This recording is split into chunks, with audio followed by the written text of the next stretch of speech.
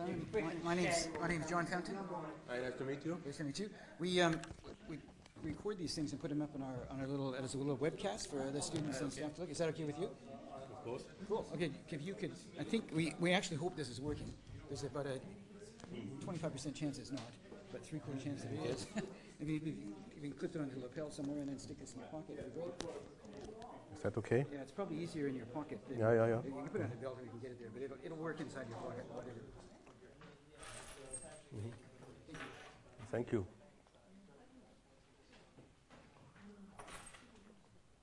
How do you check? Yeah, thank you very much, Maros and Andrea, for uh, inviting me and having me here. It's great, really.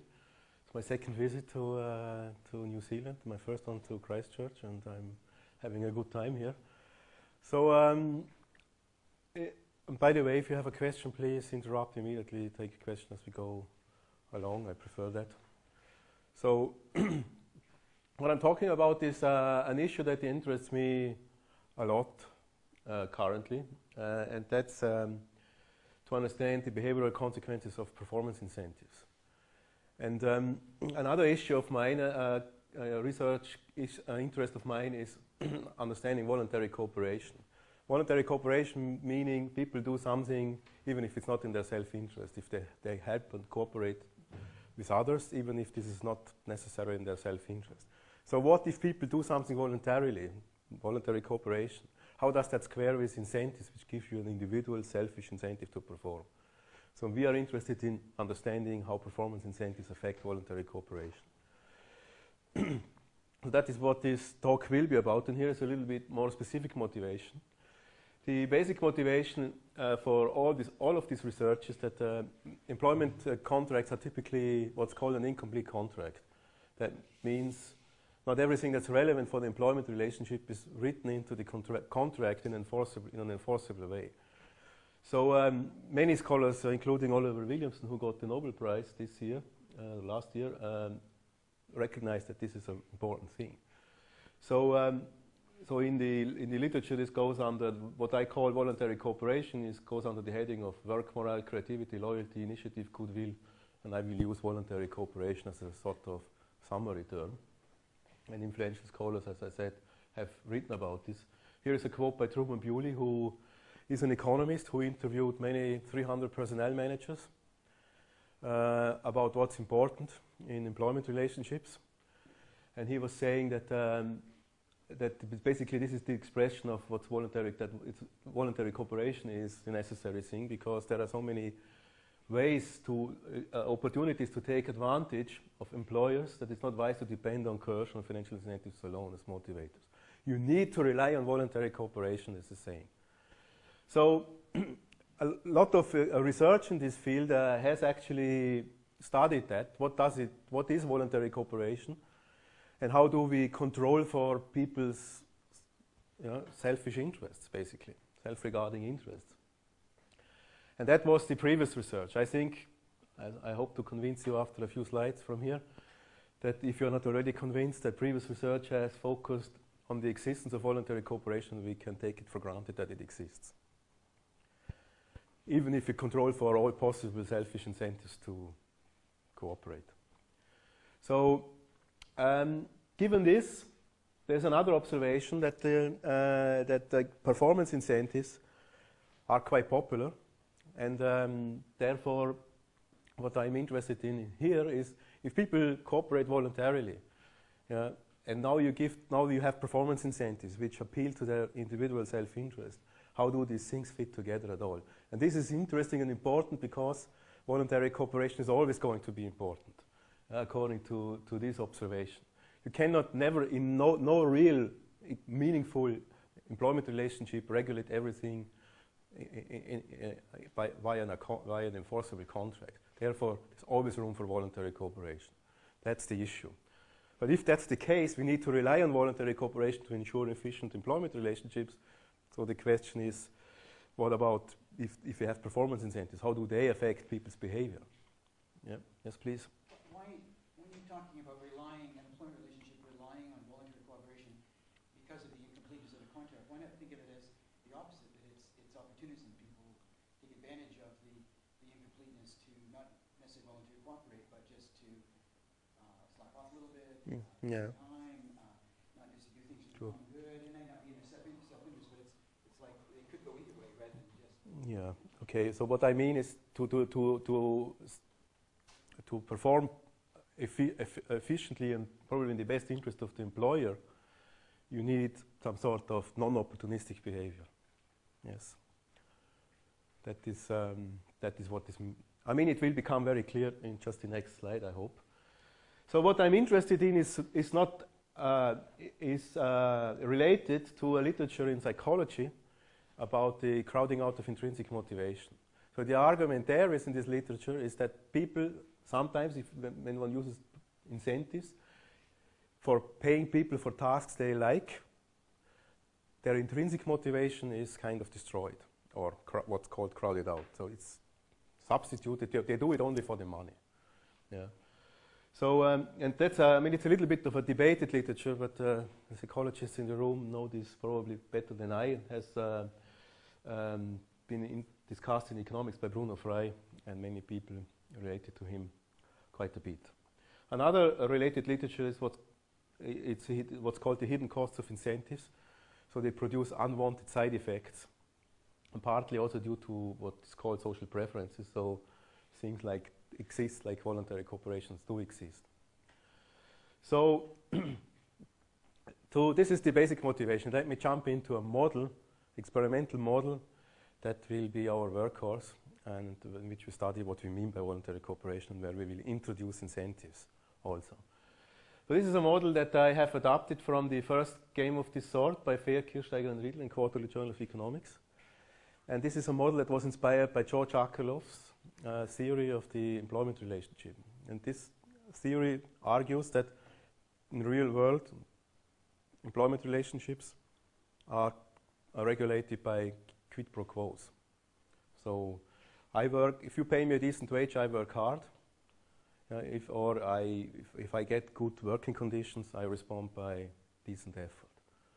Yeah, and that uh, um, is, um, and when he developed, when Akerlof developed that model, he relied on case studies he had access to from social psychology.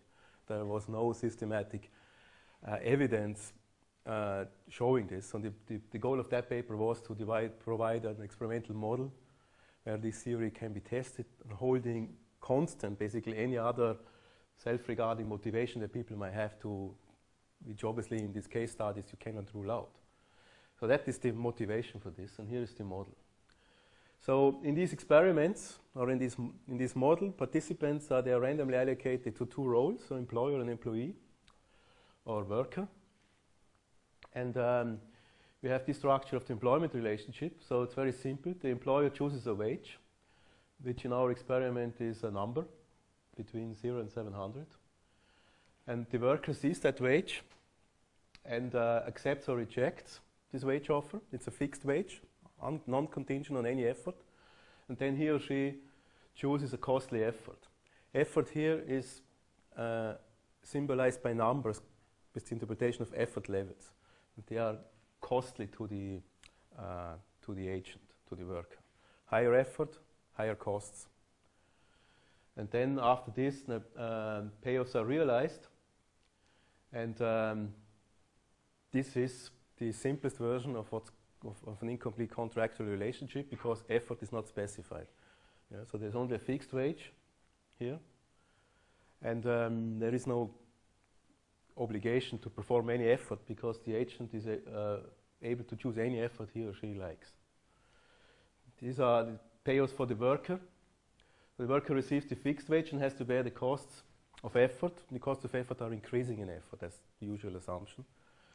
And the employer receives the revenues, which, is which are increasing in effort, and has to pay uh, the fixed wage. So it's, you can think of this at that stage as like a textbook example of an employment relationship. Higher effort, higher return, but also higher effort costs, which means the, ins- the interests between employers and employees are, op- are, are opposite. So um, you know the, the employer obviously wants to have a high effort because this gives him a high return and wants to pay a low wage.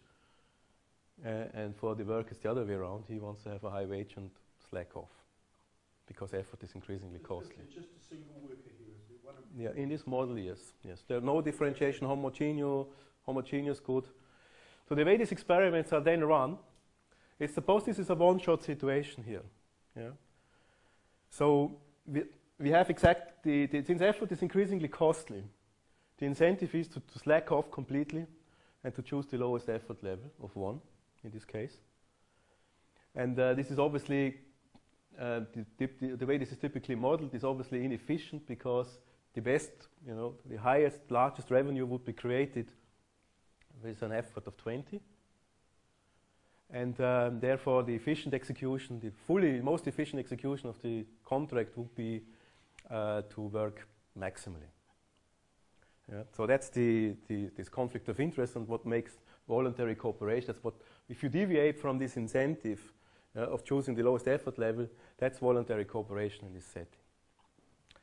So another important prediction here is that um, actual effort level is independent of the wage. Yeah? So an agent here will always choose the minimum effort irrespective of the, of, of the wage he she has received. The gift exchange theory would say no, higher efforts are higher wages are reciprocated by higher efforts. Low wage, low effort. So we should observe a positive correlation. Yeah? The standard payoff maximizing solution uh, would say uh, effort should be independent of wage. Just a clarification question in, in design. So um, the employer decision in, in stage one, did they just offer the wage or did they give a proposed uh, effort level as well? In this case, not. Uh, in, in our later experiments, yes. But this is just uh, to set the stage. This is the framework that has been used this framework has been used in many experiments in variations, but, but that's not important at that stage. I will show you just a couple of slides from here. I'll show you some results from experiments in this regard. Maybe this will come later. So the worker um, cannot go, it's not competing, it can't go to another uh, employer. Yeah. In some, so, so okay, let me, let me show you some results and then I show you a little bit more. So as I said, this framework is only a sketch. Obviously, there are many experiments in this which have changed lots of dimensions. But the important point for me is not this, this point. What I want to show is what is a typical result. Here is actually the result from our own experiments. Uh, we'll explain later, where we did this game for 30 periods. I show you this in blocks of 10 periods. Here, this is a scatter plot, where on the x-axis we have the fixed wage, and on the y-axis we have the actual effort. And the prediction, remember, from this maximization argument is um, effort should be independent of wage. This is true for every dot here is an observation. So these are all data in this treatment, in this experiment. You see indeed that there's a clustering of uh, minimum effort irrespective of the wage. This is true in all uh, phases here. But then we also have this part here. You know, these are people who react to higher wages, higher effort. And on average, that's the, the positive wage-effort relationship. Yes? Is it true from the way I'm eyeballing those three distributions, it looks like the distribution on the right is probably shifting uh, density to, to the left corner of the, uh, the left relative to the other guys? Just, I mean, there's still lots of spread, but just kind of relatively. Uh, not, there's nothing significant here. So this means um, this relationship is pretty stable. This means, for my, for my purpose here, um, and this is not a new result at all. Yeah. This just sets this, the, the, the benchmark from our own study. We have replicated in our parameter set, we have replicated previous findings. Actually, here is the data from the first experiment. Dif they use different parameters, but um, same idea, wage effort, predicted minimum, actually observed positive. Could you just go back a slide? Mm -hmm. uh, you look at the right-hand graph, and you were to look at this one? of 100, 150, and the actual level up 5. So you weren't looking at the means. Mm -hmm. Just looking at that distribution. I would mm. say, I would say across the graphs, that is that that corner has increased. The means, the means may be going up. Yeah. So yeah, I mean, it, it, what happens is that the fixed wage maybe went down a little bit, so we observe more here. But what is important for me uh, is that the relationship between effort and wages is not changed. This is a regression line here, a non-parametric regression line, so this looks uh, stable. And our econometrics also shows this. So, but as I said, this is not new. Here is a whole bunch of papers that use this framework, which all find this relationship. Um, and I would say this is the conclusion from this. There is reciprocity-based voluntary cooperation. Higher, higher wages, higher effort. So here is just to, to, to, to, give you some samples what people have looked at to take check for the, the robustness of these findings. What if stakes are high, you know, more than normal in an experiment? Here they used experiments in this study here of experiments conducted in Russia. And uh, the high stakes experiment was up to three months salary was at stake. And these are normal stakes here are just what you typically earn in an experiment. And you see there is no relation, there's, there's no difference, but an increasing uh, positive relationship between wage and effort. So the stakes itself, what is at stake, doesn't differ that much. Yeah. People have studied non-students. What about, do these results also hold for normal people outside the university undergraduate population? The answer is yes, actually even more so. Um, people who, um, so for example, in this study uh, here, these were soldiers sampled from uh, all walks of life. These are MBAs and these are undergraduates. Actually, the undergraduates are the least uh, reciprocators here. Yeah. Social distance. So, what if? What does anonymity? Does that matter? Does it matter that we play the game repeatedly? Uh, whatever, not going into the details of all this, what you see is higher wages, higher effort. Then, okay, these laboratory experiments are artifactual, you know, strange because people choose a number in a payoff table. How realistic is that? Do we get reciprocity in more meaningful tasks? People run, and here's a study by Gneezy, run real effort. So you have to do something for the task, not just picking a number. Same idea. So this is just to reinforce the point I was saying we have observed across a large range. Know, this is just a selection of things. We have observed that this voluntary cooperation exists for whatever reason. So this brings me to my research question. The, uh, I'm interested in understanding the interplay between explicit incentives and uh, this voluntary cooperation. So And uh, I borrow a little bit the terminology and uh, from um, this, this, psychological literature that I mentioned on the crowding out of intrinsic motivation. I borrow that um, uh, here. And the question here is, is there a crowding out uh, of voluntary cooperation? And I will distinguish between two, short, two sorts of crowding out, what I call the short-run crowding out, by which I mean in the contemporaneous presence of incentives and the possibility for voluntary cooperation. How is voluntary cooperation affected when there are incentives present? Yeah. So that's what I call short run, or I could also call it contemporaneous crowding out effect, if there is any crowding effect.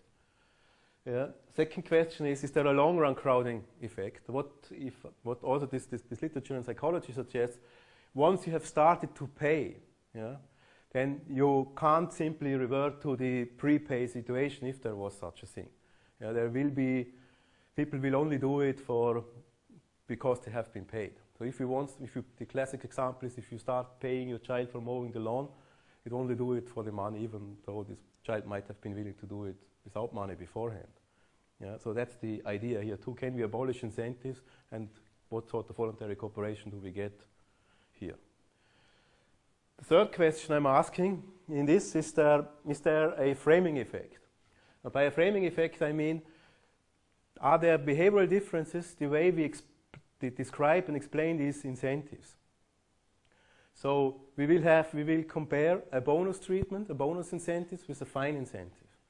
We will design this experiment in a way that is theoretically, objectively equivalent.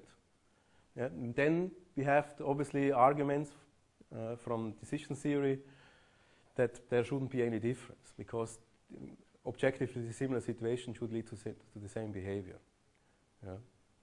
So, and uh, a practical reason why we have this design is with the university where I worked before I moved to Nottingham, developed, uh, they wanted to introduce some incentives and developed a list of guidelines. And the first bullet point on that list of guidelines was always frame things positively.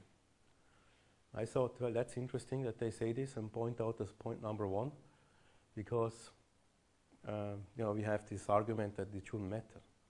So maybe there is something that these people know that we don't know. So maybe it's worth studying and see whether in this context bonus has different sort of effects than fine.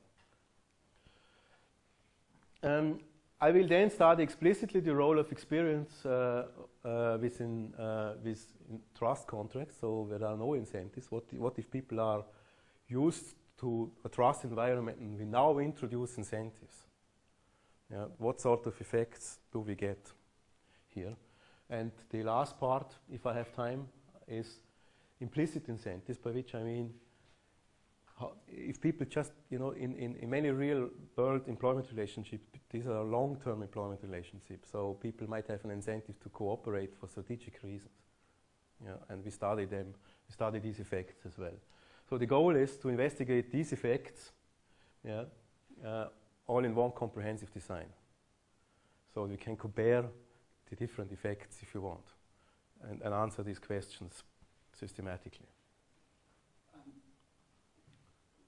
when you're asking about the idea of an effect, um, would you discriminate between, like again, in those three boxes that you had, Mhm. it means clearly there's a you know wage and effort relationship. Mhm. There's also clearly a bunch of people who are Mhm. sitting there the bottom. And, and I'm wondering if would you, in your effect, can you would you sort of separate? Can you separate those two elements in some way? Discrimination between those, those two types that seem to be there. Yes, that's a very good point uh, that uh, I will not address much today, uh, but this is what we are currently working on, is to, to fix the econometrics for that, and um, that is an important issue. Yeah. But this is just, first, this is what we want to do, okay? Any question on this? If not, then I go and explain why we believe that there might be interaction effects in the first place. Why do we have the idea that this might matter? Yeah, the basic argument is that uh, voluntary cooperation and performance incentives tap into different psychological mechanisms. Here is the psychology of voluntary cooperation. Yeah, the psychology of voluntary cooperation is, for example, equity concerns. Yeah, um, this was pointed out long time ago by a psychologist, uh, George Adams. And uh, it's the idea, you know, if I have been treated nicely, I want to restore this the, the, the, the, inequity that was created by that by working hard and therefore restoring, inequity, uh, restoring equity. There are newer versions here, for example, of theory of inequity aversion that would predict that for purely equity motives. That's one possibility. Another possibility is reciprocity. I have received a nice wage. That's a kind act because he could have offered me a low wage. He, no, he gave me a high wage. And I, I respect that and want to respond in kind. Yeah, that's a motivation. Guilt aversion is a motivation. So say, okay, if this guy pays me a high wage, you know, probably expects a high effort, and I would feel guilty would I let him down by, by shirking, slacking. Yeah? So people want to avoid that, can produce these effects. Or social esteem, I want to be held in good esteem by my employer, and therefore I choose high effort.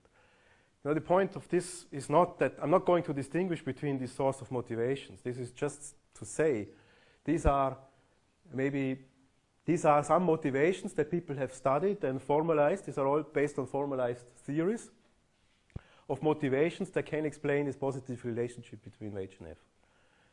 So for, for me, the, the, the, the importance is not the source of that, whether it's this or that. The important point here is these point all in the same direction, which suggests there are several different psychological mechanisms pointing in the same direction, which says it should be a, a robust phenomenon. Yeah, that's what I think here. And, um, but the psychology of performance incentives, I would argue, uh, is, uh, is a bit different. Because performance incentives, um, in particular uh, explicit performance incentives, by which I mean the contract says exactly if you do this, then you will get that reward. If you do that, you will get that reward. You know, they give you a selfish reason uh, uh, to, to perform. So I look at the contract and say, well, yes, it's in my self-interest to do what this contract says or not. So I consider that sort of uh, reasoning. Yeah, they are arguments that uh, performance incentives transform the nature of the, uh, the relationship. If I do things on a quid pro quo basis, that's another, you know, open-ended kind of friendship. Okay, you help me, I help you, you help, I help you. So this sort of gift exchange is not uh, is not the same thing as a price-based uh, exchange relationship. Like I go and buy cookies at a given price, you know. So and um, the use of incentives might also signal distrust. Ah, you offer me an incentive contract. Apparently, you think I'm a lazy bastard. Maybe I'm a lazy bastard now. So, so this sort of thing, the, the, I don't know what the psychologists think about this, but uh, from my reading of the literature, this is a different thing here. Yeah, so this is why we believe there might be uh, interaction effects. And how do we study them? Yes, please.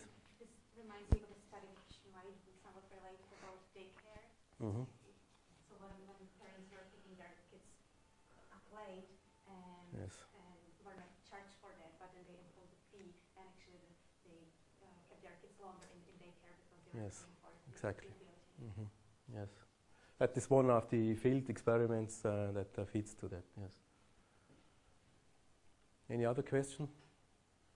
This is only looking at, there's no, in these experiments, it's only looking at one worker, one employee, there's no employer versus, uh, sorry, employee versus employee comparison, because that's a noted thing in psychology where people's effort change depending on what they perceive other people being paid for similar roles. So this is exactly here in this study. I, I'm working on that issue too, but not in this.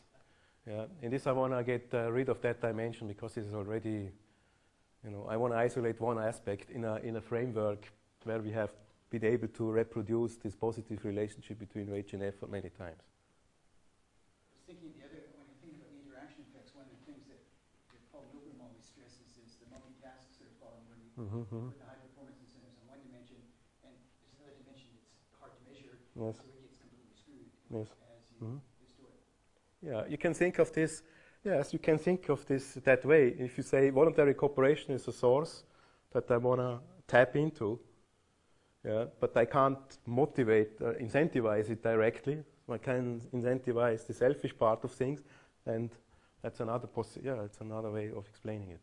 Here I was just saying, okay, voluntary cooperation operates on different psychological mechanisms than performance incentives. The question is, how do they square? How do they fit? Yeah. So here is how we study this. And um, what I'm going to explain is the so-called stage games. And the stage games will be repeated. So the stage game is this, the, the, the game that people play in every given round of this repeated experiment. And I will run three, look at three different stage games. One I call the trust game, where there will be no incentives. Call a fine game, where the incentive comes in form of an announced wage reduction. And then we look at the bonus game, where the incentive comes in form of an announced bonus payment. So here are the uh, actual parameters. So a contract consists now of three elements, yeah, o- yeah, uh, or two. So the announced uh, wage, a desired effort. Now the principal can um, um, say, okay, I would like to have a particular effort level. So he would say, I pay you a wage of 200, and I would like to have an effort level of 12. But the contract is incomplete, which means the agent does what he or she wants to do. Yeah. So these are the payoffs, again as before, wage minus cost of effort. And this is now the parameters of the, of the return here, 35 times effort minus the wage.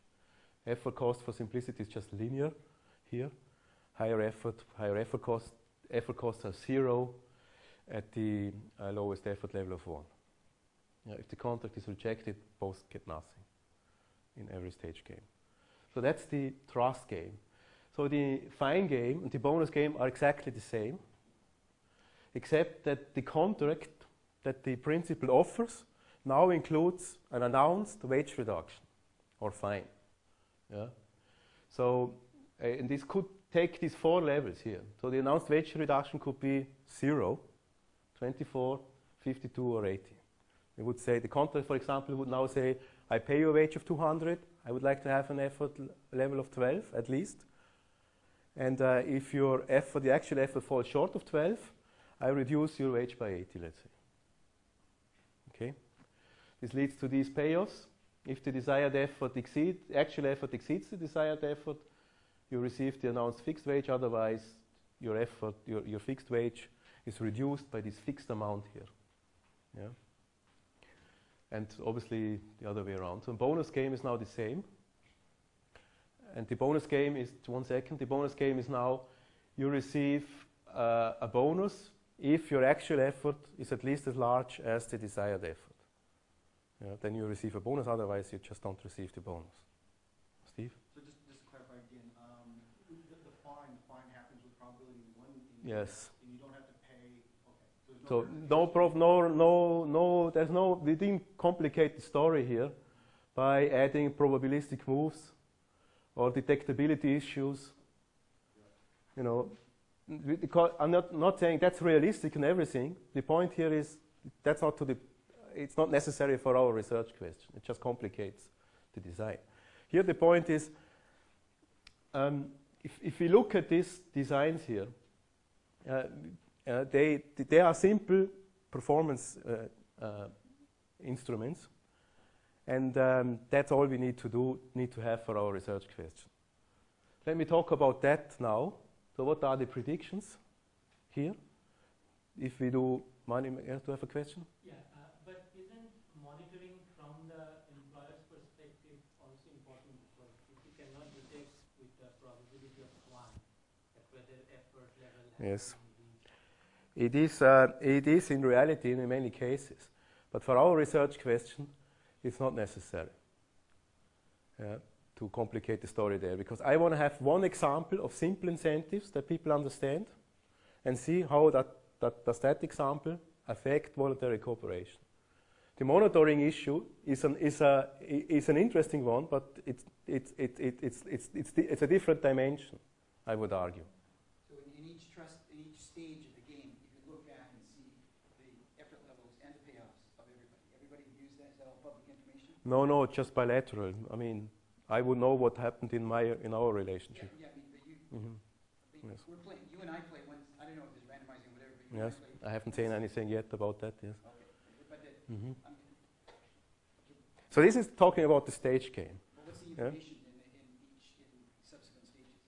Um, the information is What do I get to see at stage two when I look back? What, what, I, I get to see if we are matched. I get about I'm the I, I, I, I'm the employer. You are the worker.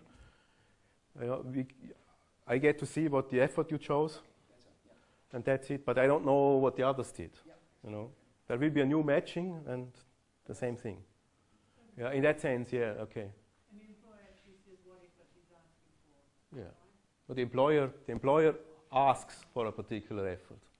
The employer says, I pay you 200. I would like to have an effort level of 12 at least. And in case you don't come up with 12, I reduce your wage by 18. Very simple. Yeah? And the reason is, why did we do that? And it com- becomes hopefully clear on this slide when I talk about the predictions. If you think about, if you are a maximizing worker here, what do you do? You compare the payoffs that you get from sticking to the contract to payoffs from shirking. So what are the payoffs from sticking to the contract? You know, I receive this fixed wage. I have to bear these effort costs of desired effort, so cost of 12, let's say. If the guy asks me for 12. Yeah.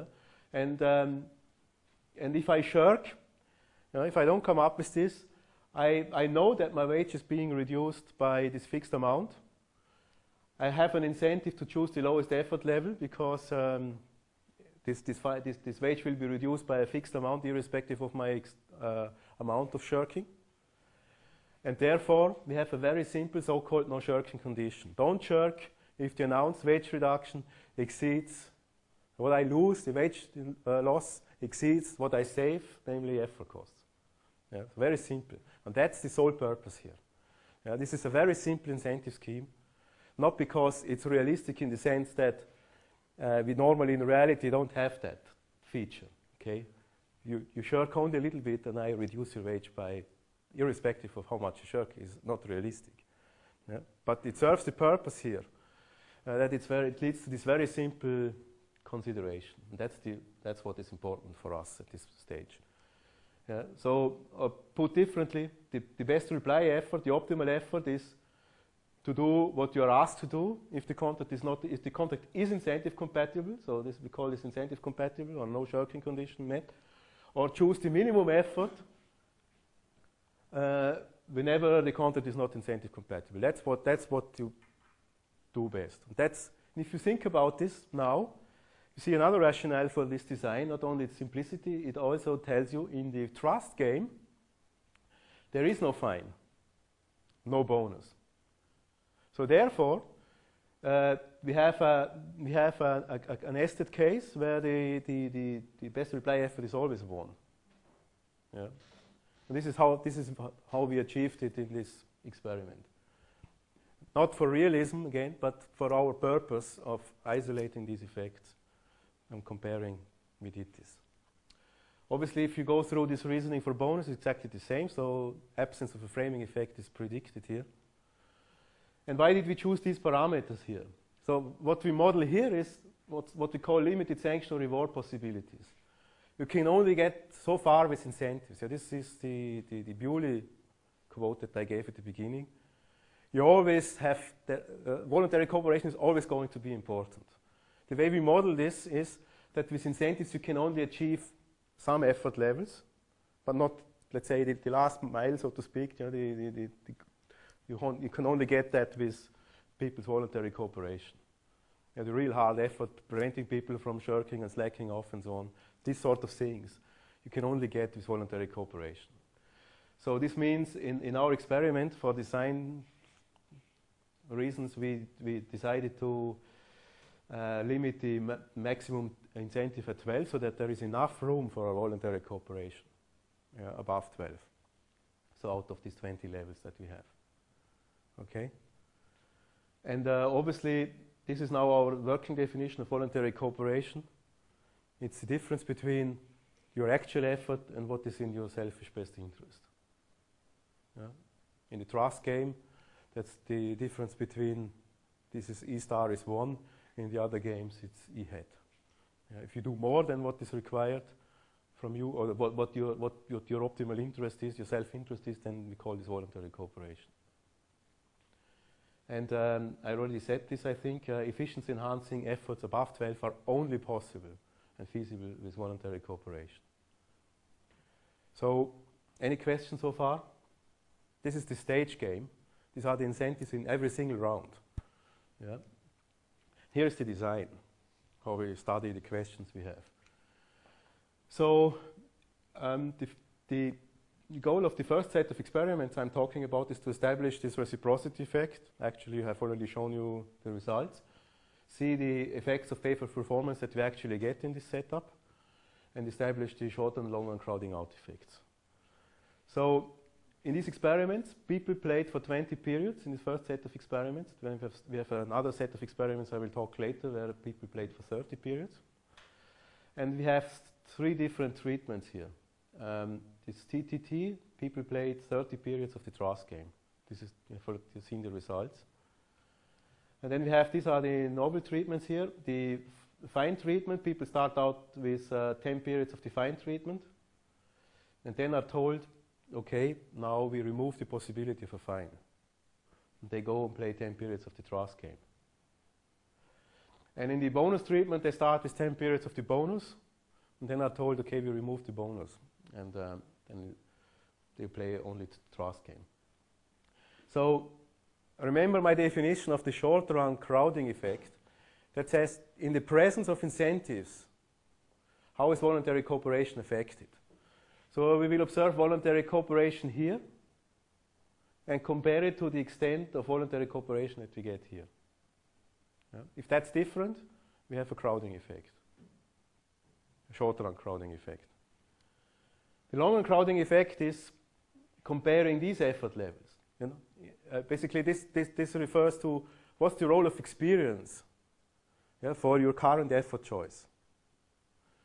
In this treatment here, you have experienced a trust environment. So, what's the extent of trust that we, of voluntary cooperation that we get after having experienced trust?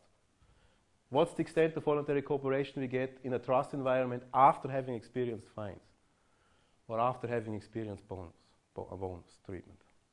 Yeah, so this identifies the long-run crowding effect.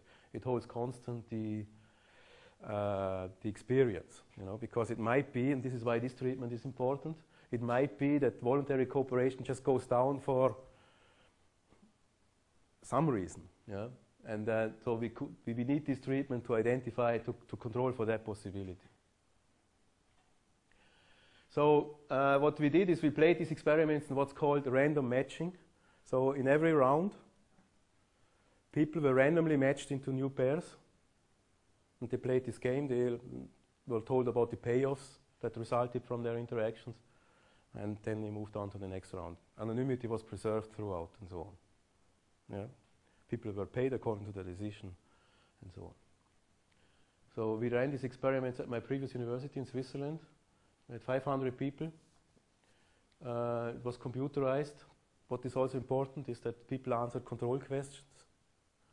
So where we asked them what do you earn as a function of different wage and effort combinations to make sure they understand their incentives here, because there is no point of running an experiment like this without ensuring that people understand uh, how they are getting paid for, yeah, and they earn decent money. So, any questions so far? Because before I go into the results. Yeah, another clarificatory question. So, uh, the pairs are matched randomly at each, uh, at each stage, right? And also, uh, in this set of experiments, yes. I will talk about, if I have time later, talk about experiment where they are matched into fixed pairs, but that's later. and also the um, amount of wage they get and the effort they have to put, that is also random? So like, I'll give you four hundred bucks to work. to do that. No, that's, that's, it is, that's up to the decision of the, of the principal, of the employer. If you are the employer, you decide in every round, what do I pay now? Oh, so for each round, that, that pair is fixed, like, We are, yeah, suppose we are matched in this round. You are the employer, I'm your worker. You make me a contract offer, which consists of the fixed wage, a desired effort, and a announced fine. I decide do I accept the contract or, or not. If I accept it, I choose an effort level. Payoffs are calculated according to the contract. Next period, you're matched with him. You know, you decide for a new contract, you offer him, and so on. Okay? No, we didn't do that. You, al- you always kept your role. Yeah, yeah, he's an employer all the time, yes. Because that would have complicated matters again unnecessarily for our purpose. In the experimental instructions and, and the explanations, do you use the, do you use the employment language, like your role will be an employer, your role will be an employee? Um, This will be, the number you choose be an effort level, or, or is it less, uh, sort of employment oriented than that? Because you could be, you know, you pick a number out of a hat, I'll pick a number out of a hat, we come up with the payoff. mhm. Yeah, um, in, I, I, I, um, in these experiments, I think uh, we, we did it different ways. Not in this experiment. I think in this experiment we used uh, some sort of middle ground. But we used, I think we used the employment uh, terminology here. In other experiments, we used um, the buyer-seller language to, to communicate the roles, but it never made any big difference. So this sort, this sort of framing. Okay.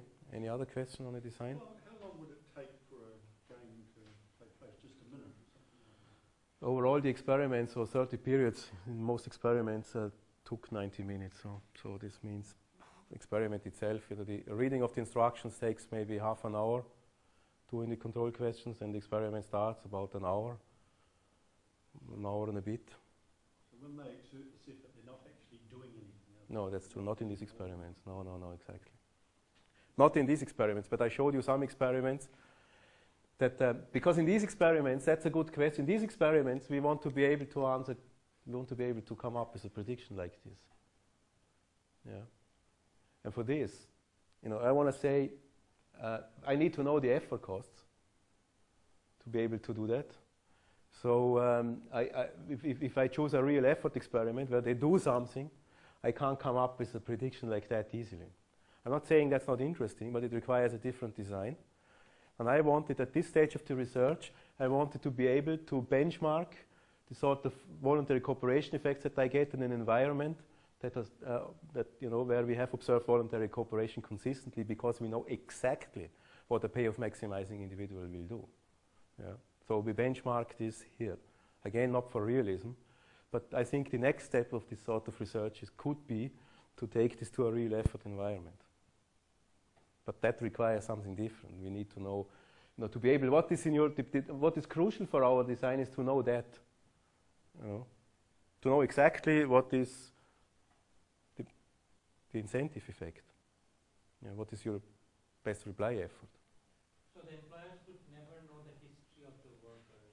No, they would not. Not in these experiments. But some others, yes.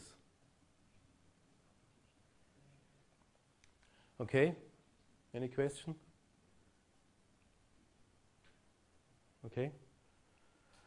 Uh, show you the results. Uh, so let me talk about um, incentives effect and uh, some crowding effects on voluntary cooperation. So remember this no shirking condition. Uh, the incentives say if the final the bonus exceeds the cost of desired effort, then you should come up with the desired effort. If this is violated, you should choose the minimum effort. Yeah, in the trust treatment, you do that anyway because there is no final, no bonus. So here is uh, the data from the from phase one of the fine treatment. And uh, here I show you the optimal effort, the best reply effort, so this effort, as predicted by a given contract. And here I show you the actual effort, what people actually chose. Let's start down here. Optimal effort, best reply effort of one, so this effort here. So we see that indeed there is a bunch of people. So this is a bubble plot, the, uh, that um, the dots are proportional to the number of underlying observations you see there are quite a bit of observations at, you know, at if the optimal best reply effort is one, that is what people choose. Then we have all these observations here, where people chose something that's above one, i.e. above their best reply effort. So they deviated from their individual self-interest here. And this is voluntary cooperation. Okay? even above 12 you observe number of observe, uh, number of effort levels. So now we move away from one, and given our setup here, this is uh, a best reply effort of more than one. It's only possible with an incentive compatible contract. Yeah. So, and what you see here is, and the, the maximum incentive compatible contract was 12. And what you see here, if the contract is incentive compatible, people do exactly what their best reply effort is. Yeah, they play, I mean, there are, there are very few deviations, you know, can count them. Every single dot here is one case. Yeah. People are on the diagonal, you know, as predicted. If they deviate, which they sometimes do, you know, they deviate to the minimum effort. So people understand their incentive very well in this case. Yeah. These are cases of punishment where they have received an incentive compatible contract that uh, basically extracted, paid them such a low wage that they wouldn't have earned anything. So they punished them by rejecting the contract, choosing minimum, uh, not by rejecting, but by choosing the minimum effort of one.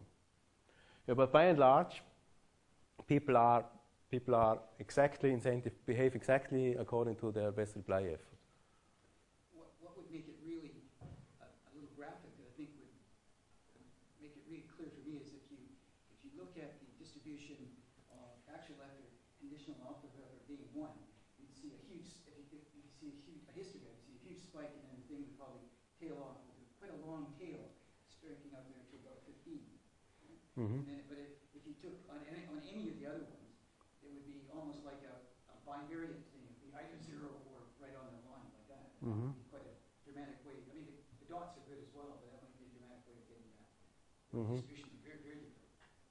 Yeah, yeah, they are, and we will see an example just in a, on the next slide then, or a couple of slides from now. So, this, the, so the, the, the, conclusion here is voluntary cooperation exists, but only with non-incentive compatible contracts. So that's a form of crowding out that we see here. if the contract is, is incentive compatible, there is no voluntary cooperation. But it's not because people are not willing in principle to go there. You know, for example, we have quite a few contracts here above 12, which is only possible with, uh, with, with voluntary cooperation. But if there is if there if contract is incentive compatible, we just get that. Like in, it's like a textbook confirmation of that theoretical argument here. Could it even be stronger in the sense that the, these dots don't refer to, uh, I mean, the same person could, could appear somewhere in several places, right? It- Mhm, mhm. The same people who are Yeah, sure. this. That is uh, um, good question. Um, here I don't distinguish between who you are. I just look at cases. I only distinguish between here, content incentive compatible or not. I look at different levels of what your optimal best reply effort is and see if the contract is incentive compatible, this is what people do. If the contract is not incentive compatible, you do observe some voluntary cooperation. Yeah. So I have not distinguished between people, but um, maybe I show you this first as well. So no difference in the bonus treatment; it's exactly the same. So um, uh, and if you look at in if you look at these treatments here, this the, uh, as you have seen in the first graph, you know, you see these people who you see these observations where uh, people react to the wage, and these people, uh, and in cases where people don't react. It seems like that there are two distinct types of people. So people are more likely to be either in this camp or in this camp. But when it comes to incentives here, there's no difference whatsoever.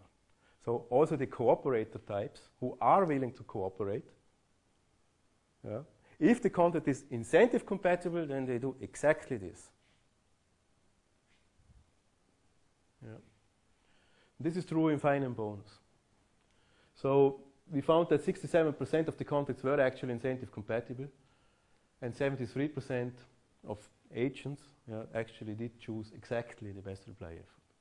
I thought that is a glorious victory for that model that predicts this is how people behave. Yeah. But it can't be the full story because you know if that were the sole story, then basically wh- why do we observe these dots here? No, we should observe no dots here. So something distinctly different is going on. The horizontal dots are East Germany, the diagonal line is West Germany, the vertical line is Korea. Okay. okay, let's look behind these dots. So now let me say no to, to wrap up again. So this is a crowding out effect. If there if contacts are incentive compatible, we get exactly that. Now let's look behind these dots. It's a different way of illustrating uh, and looking at this. So I benchmark this now with the trust treatment. So you have seen this already. This is uh, wage, this is uh, effort, and you see, have seen these these uh, dots here. We see on average this uh, increasing a positive relationship. Now I look in data of the fine and bonus treatment if the contract is not incentive compatible. Remember the way we have this designed this experiment is the best reply effort is always the minimum effort if the contract is not incentive compatible. So we are exactly in the comparable situations in the trust game and in the in non-incentive compatible incentive games. This is how the relationship looks like in the fine treatment. Yeah, basically, wage uh, effort, there is no relationship at all. Yeah, it has been shown to exist in so many experiments, but in this case, yeah, there is uh, there is voluntary cooperation. People, uh, all these thoughts are all over the place here. Yeah, but it's just unrelated. There are uh, some are at the minimum level here, but these thoughts are unrelated uh, to, to the wage. The same is true in bonus. So um, uh, there, there exists voluntary cooperation, but it's not reciprocity based any longer. It's not people don't react to high wage, high effort, low wage, low effort. It is just unrelated. They do something. Yeah, here. So um, we can also look at this uh, uh, how effort has developed over time. I only look at non-incentive compatible contracts, so this is 10 periods. This is the mean effort. This is how it looked like in the trust treatment, the benchmark. And this is how effort looks like in the non-incentive compatible contracts in defined treatment. It looks a bit lower. And this is in the bonus treatment, looks a bit lower too. But if we compare this using the uh, regression analysis, we, we say we, we speak of crowding out. If the average effort in the trust treatment compared to the average effort in non-incentive compatible tree contracts, holding the offer contract constant is positive. Yeah, so which means people co- cooperate more in the in the uh, trust treatment and in the fine final bonus treatment than uh, same in bonus, then uh, uh, we would speak of a crowding out effect. But if we control for all this, we find no significant difference. Yeah, so this means eh, on average, one second, on average, yeah, we don't find a crowding out effect. So the average effort holding the exact same con- the exact, the holding the offer contracts constant, we don't find on average lower effort, despite the fact that um, the, the, it's not reciprocity based any longer. Yeah? So um, it's, um, it's because people, people's effort is all over the place. And that on average just turn out to be such that efforts and wages are not related. I I might be getting this wrong, but, so in, in the first graph, you said that voluntary cooperation does exist, but only with the non-incentive competitive Mhm. there would be some crowd out, but would it be actually worth it for the employer? So you are Mhm. not getting some Well, of the two. I have not that yes, but I have not talked about that at all. Yeah, and um, uh, it's a good question whether it would be worth it or not. Here I'm interested in does this effect exist? Then the question is maybe if it exists, is it nevertheless worth taking that risk because I earn more if I? No, that's a different question. Yeah, um, we can answer that later. And that's, but not the focus here. Yeah, here the focus is do these crowding effects exist? And how do they look like? You know, we did expect a, a, a crowding out effect here. We didn't get it, although we got um, these effects. You know, and it explains basically why not. Because you know this means there are also high effort levels for for low wages.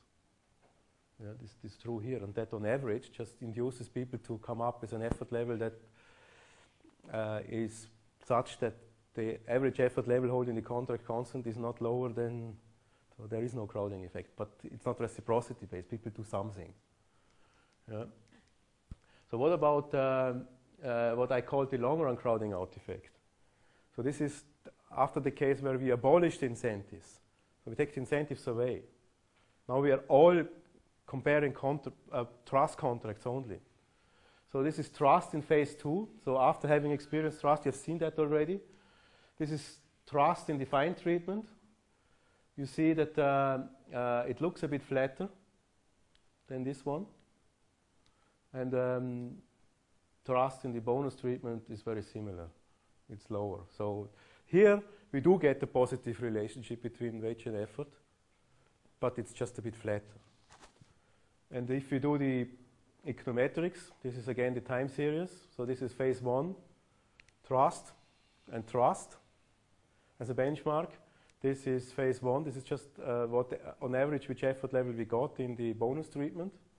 And this is average effort in the trust treatment after having experienced, uh, this is also trust, but after having experienced uh, a bonus treatment. And here the same uh, is fine. Again, you see no diff, no framing effect. So fine and bonus have the exact same behavioral consequences. And uh, if we compare now again the average trust, average effort of in trust after trust, so this with the average effort of trust after final bonus, so either these or the red line or the green line, holding the offer contract constant, we do get a significantly lower effort. So crowding out effect, the long run crowding out effect is present. It is indeed the case that holding everything else constant, having experienced an incentive contract makes you more selfish. This says. I wonder if that understates the, the impact, because you're sort of working with these average, average effort levels, and somehow it's, you have this impression that what you want to get is the extra effort at the top end that the incentive contracts can't catch. Mm-hmm. So if you were, if you, instead of looking at the- just the averages across here, if you're looking at, well, what are the, what Yeah. mhm. That might be a way of, Yeah, yeah, that's a, don't know what the be, but yeah. uh, Uh, well, there it, we can have the answer. So, f- 15, 0. yeah. Yeah. 15, well, almost 0. Two cases. Whereas over the trust, And the trust, we have uh, quite a few. yeah, well, Yes. again, I, I like that approach of sort of slicing through the distribution that way and how much top, extra effort could you give? if it's hmm Yeah, yeah, okay, yeah, okay, good. hmm Good suggestion. Yeah, so, okay. So, um, why is that? Here's a tentative explanation, contracts and psychological signals. And uh, the trust contract in our environment, you know, in this experimentally highly controlled environment, we have a wage and it's very clear what this is a good wage or a bad wage, generous or mean. Yeah, so it sends an unambiguous signal of the employer's generosity. You don't need to interpret much. And then the psychology of voluntary cooperation kicks in, and on average, it turns out that um, most people, many people react reciprocally and others selfishly. Yeah, so it's a clear situation. Another clear situation is if the contract is incentive compatible. Yeah, because it's a consistent appeal to the worker's self-interest. If you look at an incentive compatible contract, it's indeed the case I lose out if I don't come up with the desired effort level of 12, you know. I will earn less. Okay, it's really in my interest to do that, so people seem to understand that. You know, they are not uh, uh, irrational, so they respond in their uh, self-interest. If the contract is not incentive compatible, that's uh, our argument here, then this is uh, an inconsistent signal or an ambiguous signal. The one hand, if I think through the incentive contract, I realize it's not in my interest to obey that contract. I'm better off shirking. Yeah? But on the other hand, they also see this wage.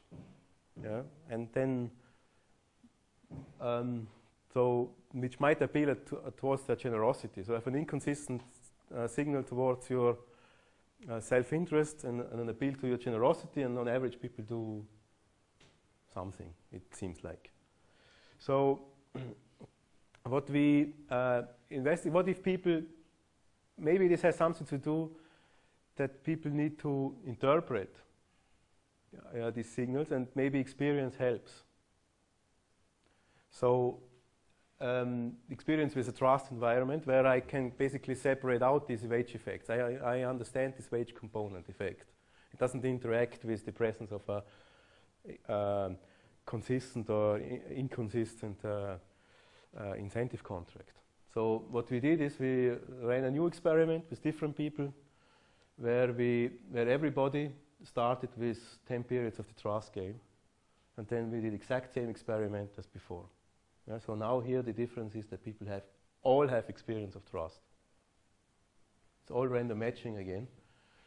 So again, the incentive effects, we replicate the previous result on incentive effects. If the contract is incentive compatible, you know, uh, roaring victory for the best reply effort prediction. That's what they do. We have these deviations here. There is again voluntary cooperation if the content is not incentive compatible. When you were uh, doing the control questions, uh, was it so they had to answer the control question Yes. correctly before they could Yes. proceed? Okay, Sure. So, so there's no chance of looking at correlation whether they uh, got the answers uh, incorrect. in Yeah, if they got an incor- if they gave us an incorrect answer, we pointed that out to them, Mhm. and they had to think long and hard until they got it. Mhm. You know, it was never a problem. Is there any correlation? Did you have data on that, or did you have evidence on which uh, Uh, subjects those were, and could you look at the ones that violated the consent?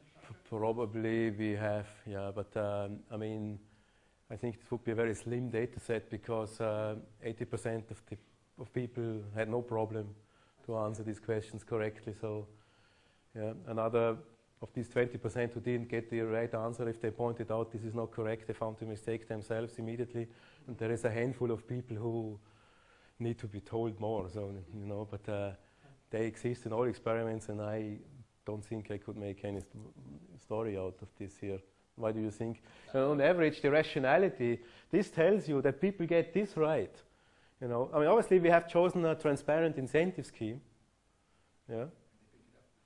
And this means, you know, if, the, if people, I mean, but that's the whole point of incentives anyway. You know, incentives can't have any behavioral effects if people don't understand them. Yeah? Then people do something. So if people understand incentives, the question is, and this is a very transparent, simple incentive scheme, they still have the possibility of voluntary cooperation, but they don't do it. Yeah? There is no voluntary cooperation. In this case, it's even more dramatic. There is not a single observation above here. Yeah? There is one observation here, yeah? one here, one here, so three cases. Yeah? And there is some punishment here where people choose the lowest effort because they have received mean wages. So people understand what they are doing. If you know, because if you want to deviate, rationality says here from the best reply effort, then you should go to the minimum effort level anyway, because otherwise you have to pay your fine anyway, and you just earn less, and that's what people do. So people are rational.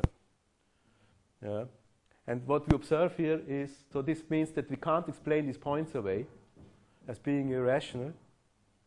Yeah. It has to do, with, I think, with uh, this is a different psychology. This is the psychology of voluntary cooperation. This is the psychology of incentives, and it doesn't fit into the. Uh, uh, it doesn't fit together. Yes. I think that the, the question though was the effect of experience on this, and these two graphs compared to the comparable two, and the one where you only had the you had fine Mhm. you know, the two things that there's there's much less variance uh, for every optimal level above one. Here. Yes. Yeah. Sure. Whereas, whereas on Yeah, the so- again, on the left hand side it looks dull. I mean, just heuristically, it's about the same. Uh, Yeah. Yeah, it's, uh, I mean, but we are not talking about many cases there either. So, um, if you go back to that case briefly, so, uh, I mean, these are, you can still count them. it's Yeah. a bit more experience. It's settling down, obviously, a bit more. Yeah, but, so these are, you can count these numbers here, one, two, three, four, five, six, seven. Yeah, and about same here, so cases out of, I don't know, many, And then many. once you get the experience, though, Sure, just- goes uh, completely away, yes. So, so what happens with reciprocity in the case of non-incentive compatible contracts after having experienced a trust environment? Back again, yeah, back into the game. Here we now see, you this is people have experience with 10 periods of the trust game. We again again get this bivariate uh, bifurcation here. Some people down here, some people here. But people having experienced this, the variance increases, but again we have a positive relationship. The same is the long run crowding out effect also has vanished. Yeah. The same is true in bonus treatment. We have a positive relationship between uh, uh, wage and effort after having experienced this. So remember this result without being experienced. You know, people couldn't interpret this contract, so they chose something. If they have a, can, can, can interpret the, the contract, the generosity of the contract, then they focus on that, even if the contract is not incentive compatible, and they respond accordingly. Yeah, so reciprocity is back. We can basically uh, we have turned it on and off. Yeah. So how, how I'm doing time-wise? Ten more minutes, okay. Um, then I let me conclude with the uh, very shortly. So we did these experiments here in a, in a, in a, in a, in a certain way. Uh, lots of things that are not realistic here, yeah, but they uh, let us understand something about the psychology of voluntary cooperation. And for that reason, we have chain, we, we, we have random matching, not because of realism, but because to control for possible strategic incentives that people might have to cooperate, which could would have been a confound for the sort of effects uh, we were interested in establishing. So now, that given that we have established some basic results, the question is, what, how do does cooperation look like in repeated relationships which more resemble the uh, real life? Yeah? And what is also different in uh, uh, these things is that it allows for implicit incentives. Implicit incentives are, you know, are not explicit, so they, they come from the fact that I have to share a common future with you, and therefore I don't want to uh, make you mad at me, you know, because I have to deal with you tomorrow as well. That is implicit incentives. And explicit incentives is if you do this, then this will happen. So we try to combine this. Exact same experiment, you know, but now again with different people. Now in what we call this a partner treatment. So the people know that they are in these fixed uh. So we can look at the effect of incentive setting, effect of effort levels, and voluntary cooperation. So now this is just, uh, uh, you have seen this already, so split up into two panels, fine and bonus, since there is no difference, I pulled them. We found that 74% of contracts in the one-shot interactions yeah, that I, we discussed at length before were incentive compatible, and this is the result you have seen. So now we look and we compare this to a case of the, the repeated games, yeah, where the implicit incentives exist. And this is how it looks like here. So this means that the largest number of observations is at the highest effort level. Yeah. So um, the, the lots of non-incentive compatible contracts. Only 26% of contracts are incentive compatible. But again, if they are incentive compatible, yeah, they do exactly. I mean, it's only a few cases, but if you know, that's what people do. But here, the contracts, you know, were deliberately, in most cases, designed to be non-incentive compatible. Yeah, Uh, 74% of contracts were not incentive compatible. This typically means the employer asked for much more than the effort level of 12, which, since the effort level of 12 was the highest effort level that could be achieved with an incentive contract, the contract was obviously non-incentive compatible. And nevertheless, you know, seems to have worked quite well. But if the contract was nevertheless incentive compatible, so they asked for less than 12 and chose this, they got exactly this. Again, we have complete crowding out of voluntary cooperation in this case. Yeah, but, the, but the implicit incentives, I, I like this a lot, you know. If the contract, if you have one-shot interactions, yeah, then, then it makes a lot of sense to rely on incentives here. Yeah. And we observe that three quarters of the contracts are actually incentive compatible. If you can also play on the implicit incentives, they don't, it's, it's actually a bad idea to rely on incentive compatible contracts because you can get much higher effort otherwise. Yeah. So was a question, I think. So, I- Steve? I- This is in relative to, to the wages, right? So, um, I don't, with, with the repeated interaction, the wages, I mean, were much higher?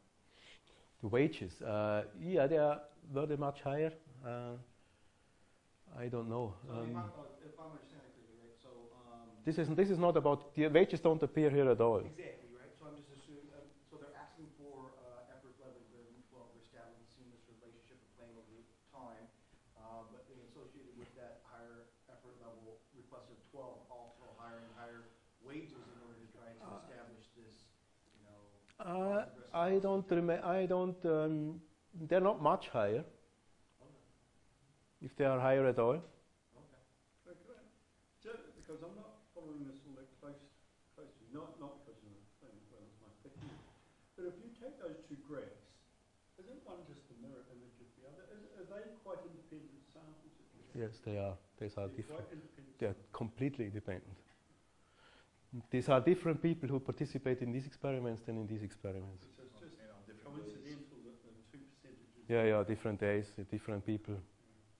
So it's coincidental that the two fractions end up into a hundred. Uh, uh, yeah, yeah, that is uh, coincidental. Yes, that is coincidental. Ah, yeah, good. That's coincidental. Steve, you could, it, it, on the right-hand graph, the big blob at the top is all the efficient contracts, because the, the efficient thing to do, the jointly efficient Sure. thing to do in this is to take twenty and, and, and somehow divide that by half, it doesn't really matter how it gets divided out. Mhm. Right, right. So there, that's, there's efficiency happening on the right-hand side, it isn't happening on the left-hand side. Yes, exactly. North versus South Korea. Yeah, yes. So I show you some um, uh, diagrams of the. Um, I have two more slides, then I'm done. So, but uh, this is, I think, quite interesting. How develop, how effort has developed over time in these ex- different experiments. So this is the trust treatment: partners, the blue line, uh, the black line, and strangers. So this is average effort in this one shot. Yeah, every round, principal and agent are matched with somebody different. So you see, you get these effort levels that uh, hovers around five or less. Yeah. Then we play this exact same experiment, but in fixed pairs, in blocks of time period, which they know. Yeah. So this is period one. So it builds up. It's dramatically higher than here. We have we get this crash here. Yeah, then they play again, and they achieve the almost highest effort level, a crash again. But still, even in the last period, you know, this the effort level is clearly much higher. And then you have to build up to almost full efficiency here. And what you also see is they, they make their, you know, they, they trust each other a little bit more every round, and they make it to even the end game effects uh, increase. You know, yeah, I like this a lot. I like this a lot. It's very interesting. I mean, it's very. You know, here they play on the power of implicit incentives, and obviously they earn much more. So these these people here in the black line, they went home happy with lots of money, and these people here did relatively poorly in these environments. So what about in the fine treatment? It's also about average effort. Again, we observe, so uh, let's, let's start here. So you see, this is just average, is what happened, average treatment effects. You, you, get, you see that, okay, introducing incentives actually does yield, you get you somewhere. And then we get this breakdown again. But um, the repeated game also has a very strong effect. But now we don't observe this build-up here. You know, this increase in trust, they are basically fixed at this effort level slightly there. And uh, the same is true in bonus, with a little more variance.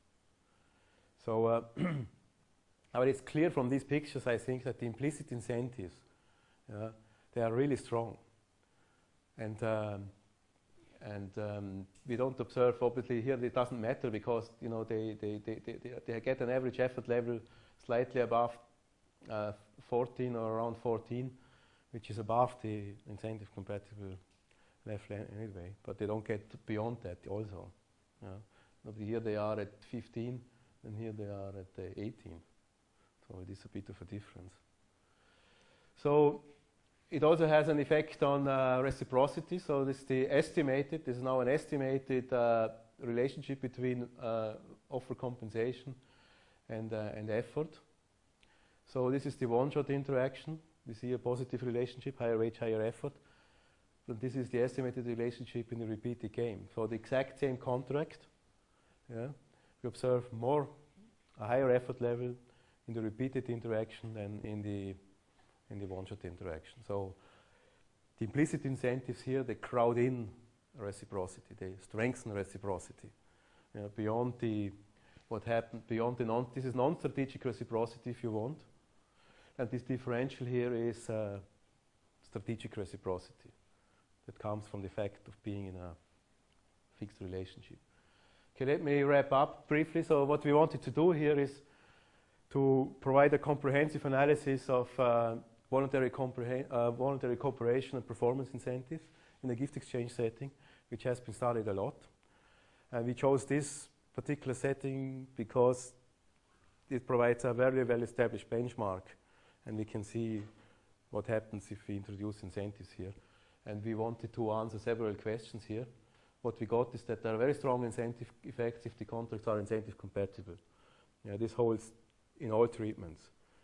Incentive compatible contracts lead to exactly the predicted behavior in the majority of cases.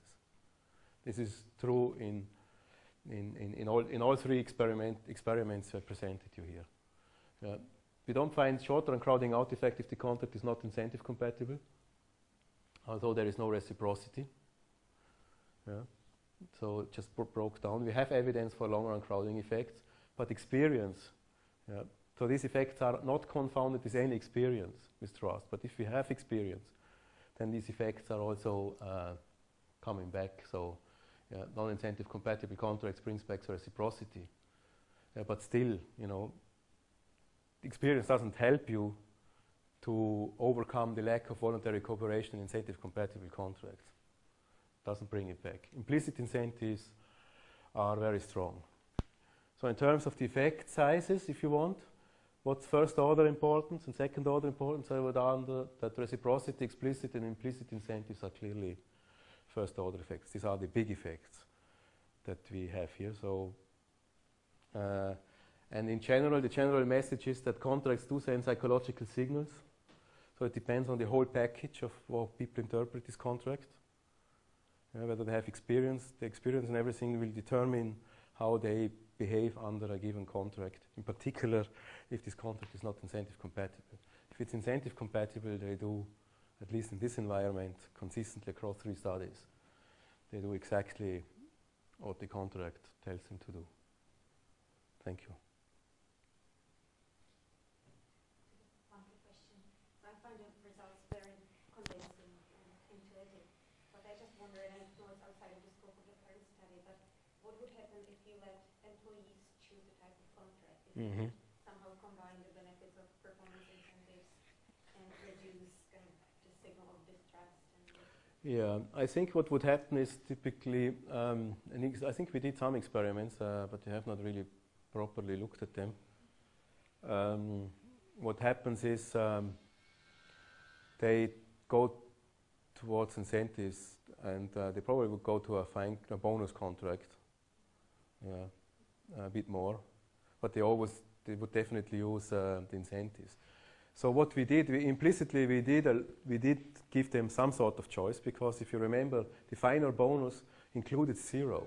So I could decide yeah, uh, explicitly decide I don't reduce your wage. I could send this signal. You know, I don't going to reduce your wage even if you come up with an effort level of uh, uh, of less than my desired effort level, but was basically never chosen. They always went for the maximum maximum incentive in the much majority of cases. Yeah. There is a bit of an attribution bias in the literature, so people tend to think that others are more selfish or less intrinsically motivated than them. So, you know, I might think, I surely, I am a voluntary cooperator, but you probably not. So I use incentives for you.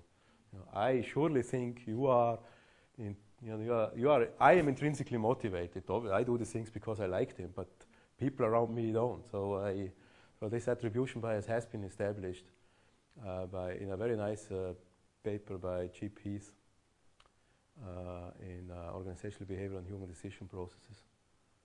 Um, this attribution error occurs many times, I think. Well, it's, an, it's an interesting question, and this has um, not been studied yet, I think, in this sort of framework. But uh, here, I know here is really the, this is just you can think of this as sort of a first step of making